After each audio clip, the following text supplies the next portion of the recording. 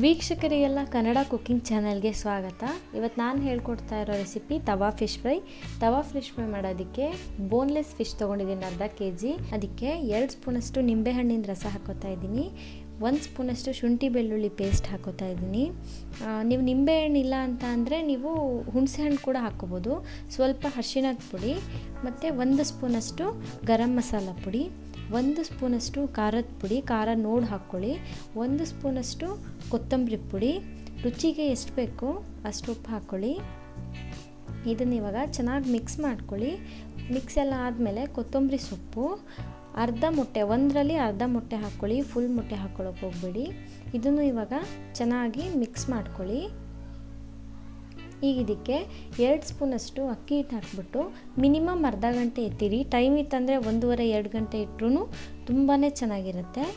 ಈಗ ಅಕ್ಕಿ ಹಿಟ್ಟು ಹಾಕ್ಬಿಟ್ಟು ಚೆನ್ನಾಗಿ ಮಿಕ್ಸ್ ಮಾಡ್ಕೊಳ್ಳಿ. ನೋಡಿ. ಈಗ ಹಂಚು ಕಾಯಕ್ಕೆ ಇಟ್ಬಿಟ್ಟು, ತವಾ ಕಾಯಕ್ಕೆ ಇಟ್ಬಿಟ್ಟು ನೀವು ಎರಡು ಸ್ಪೂನಷ್ಟು ಎಣ್ಣೆ ಹಾಕ್ಕೊಳ್ಳಿ. ನಾನ್ ಸ್ಟಿಕ್ ಯೂಸ್ ಮಾಡ್ತಾ ಇಲ್ಲ ನೀವು ಅಂತ ಅಂದರೆ ಮೂರರಿಂದ ನಾಲ್ಕು ಸ್ಪೂನ್ ಎಣ್ಣೆ ಬೇಕಾಗತ್ತೆ. ಬಟ್ ಇದರಲ್ಲಿ ಎರಡು ಸ್ಪೂನ್ ಎಣ್ಣೆ ಸಾಕು. ಇವಾಗ ಫಿಶ್ ಇರುತ್ತಲ್ಲ, ಅದನ್ನು ಇಟ್ಕೊಳ್ಳೋಣ.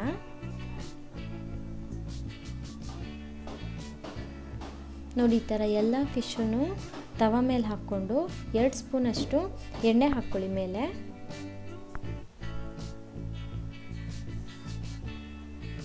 ಇದು ಮಾಡೋದಕ್ಕೆ ತುಂಬ ಟೈಮ್ ಹಿಡಿಯಲ್ಲ. ಮ್ಯಾರಿನೇಟ್ ಮಾಡಿಟ್ಕೊಂಡಿದ್ರೆ ಒಂದು ಹತ್ತು ನಿಮಿಷ ಸಾಕು. ಈಗ ಇದನ್ನು ಮುಚ್ಚಿಬಿಟ್ಟು ನಾಲ್ಕರಿಂದ ಐದು ನಿಮಿಷ ಇದನ್ನು ಬೇಯಿಸ್ಕೊಳ್ಳಿ. ನೋಡಿ, ಈಗ ನಾಲ್ಕರಿಂದ ಐದು ನಿಮಿಷ ಆಗಿದೆ. ಕೆಳಗಡೆ ಎಲ್ಲ ಚೆನ್ನಾಗಿ ಬೆಂದಿದೆ ಇದು. ಇದನ್ನು ತಿರುಗಿಸ್ಕೊಳ್ಳೋಣ ತಿರುಗಿಸ್ಕೊಳ್ಳೋಣ ಇವಾಗ. ನೋಡಿ, ಕಲರ್ ಎಷ್ಟು ಚೆನ್ನಾಗಿ ಬಂದಿದೆ. ಮೊಟ್ಟೆ ಹಾಕಿರೋದ್ರಿಂದ ಬೈಂಡಿಂಗ್ ತುಂಬ ಚೆನ್ನಾಗಿರುತ್ತೆ, ಮತ್ತು ಕಲರ್ ತುಂಬ ಚೆನ್ನಾಗಿ ಬರುತ್ತೆ. ಎಲ್ಲದನ್ನು ತಿರುಗಿಸ್ಕೊಳ್ಳಿ. ನೋಡಿ, ಎಷ್ಟು ಚೆನ್ನಾಗಿ ಬಂದಿದೆ. ಸೊ ನೀವು ಇವಾಗ ಫಿಶ್ ಫ್ರೈ ರೆಡಿ ಇದೆ. ನೀವು ಇದನ್ನು ಆನಿಯನ್ ಸ್ಯಾಲೆಡ್ ಜೊತೆ ಸರ್ವ್ ಮಾಡ್ಬೋದು. ಆನಿಯನ್ ಸ್ಯಾಲೆಡ್ನ ನಾನು ನೆಕ್ಸ್ಟ್ ವಿಡಿಯೋದಲ್ಲಿ ಹಾಕ್ತೀನಿ. ಈ ವಿಡಿಯೋ ನೋಡಿದ್ದಕ್ಕೆ ತುಂಬಾ ಥ್ಯಾಂಕ್ಸ್ ನಿಮ್ಗೆ ಈ ವಿಡಿಯೋ ಇಷ್ಟ ಆಗಿದೆ ಲೈಕ್ ಮಾಡಿ ಕಮೆಂಟ್ ಮಾಡಿ, ಹಾಗೆ ಸಬ್ಸ್ಕ್ರೈಬ್ ಮಾಡೋದನ್ನು ಮರಿಬೇಡಿ. Thank you